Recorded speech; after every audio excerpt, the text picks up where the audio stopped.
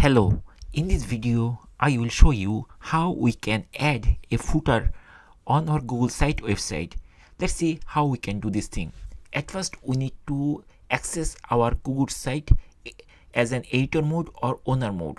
Then we have to scroll down at the bottom and here you will find if you move your cursor you will find add footer. This type of information or button is there with a plus icon we just need to click here and it will add a footer. Now we can add some text as a footer. So i just typed this uh, this line of text and i'm going to make it bold and i'm going to make it center so that it will look nice and it will be like this.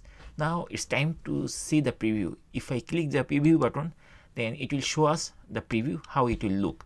And here it is showing like this now we can close this thing and finally we can publish it to see the output.